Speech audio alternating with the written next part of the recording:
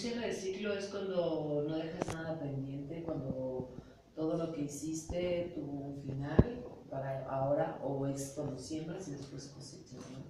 Tú tuviste uno muy fuerte, que es cambiar de una televisora, ¿cómo es eso?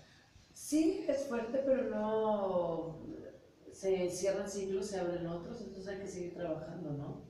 Y actualmente el recibimiento. Muy bien, muy padre. Este, tuve una novela, estuve ahorita en un programa, ahorita voy a ver unas cosas. ¿No crees que he querido como mucho? Ahorita estoy como más enfocada en hacer teatro. Estoy ensayando una obra para salir de gira, estoy en teatro en corto, acabo de temporada- terminar temporada como productora en, en microteatro, entonces como que han sido varias cosas y creo que me estoy yendo bien. Sí, hemos visto ahí en las redes que el teatro en corto está muy sonado.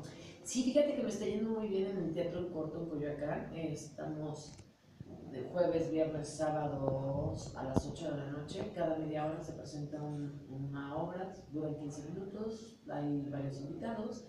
Y los domingos empezamos a dar funciones a las 7 de la noche. ¿Cuál es la obra?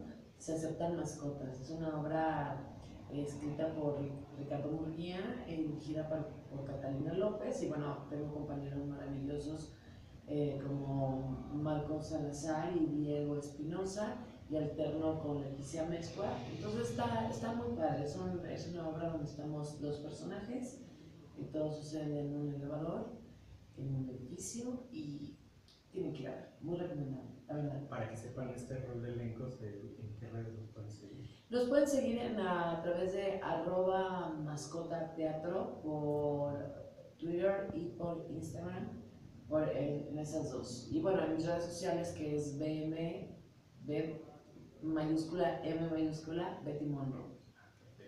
Y televisión ahorita estás Eh, eh, por ahí tenemos ahí alguna una serie próximamente, pero todo como muy tranquilo. O sea, sí, sí, pero despacito.